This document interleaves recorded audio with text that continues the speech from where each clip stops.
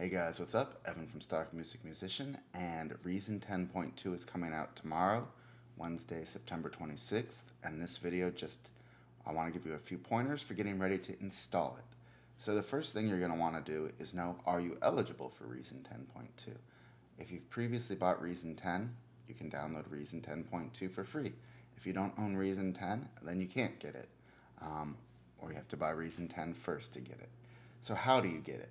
Well, tomorrow at some point, Wednesday, September 26th, um, if you're on the sequencer window, a ribbon will pop up along the top and it'll say a new version of Reason is out. Would you like to update? Something to that effect, and you click yes, install and restart. It will download the files, install them, and restart your computer. Easy breezy. Um, now, that's the easy part of it.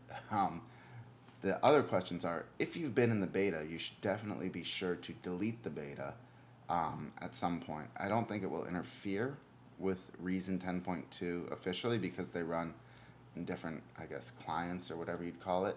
But it is taking up hard drive space, so you should go ahead and delete the beta because the real version is going to be better than the beta. Um, the second thing is, should you update?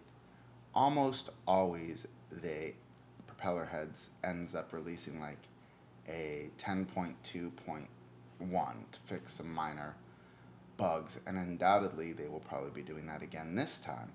Um, but I still think that I've used the beta and it seems to work really well. Uh, there's probably no reason not to upgrade today. Uh, if you're really cautious, you might want to wait a couple weeks just to wait until they work out all the bugs if there are any bugs. But I was having no problem using it in the beta, and the beta is probably worse than the final client. So that's should you upgrade or update, I guess. The other thing is I like to take the opportunity every time a new version of Reason comes out to clean up my house. Uh, not my physical house, but my musical house, where I want to make sure that I'm backing everything up properly, that um, I'm cleaning up my hard drives and getting rid of old stuff. Basically, just an excuse for a little bit of spring cleaning.